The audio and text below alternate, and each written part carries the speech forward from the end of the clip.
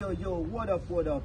This is Don Santo, the one and only in Eastern Central Africa, the whole world, even in Google. I mean, that calf of guy.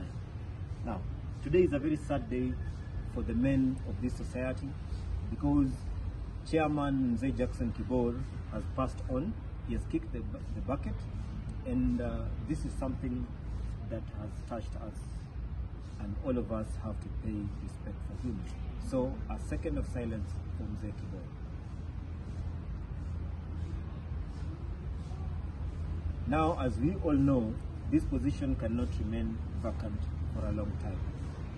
We pray for Mzee to rest in power, and I'm taking over as the chairman of the men's conference.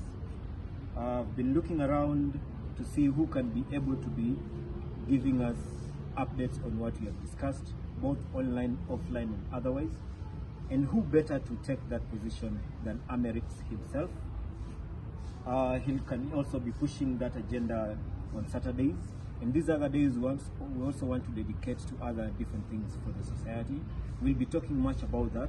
We, not, we don't have a treasurer for now, but treasurer will discuss those matters when we meet and after we have vetted all the aspiring candidates. So until next time, all the men, stay Taliban.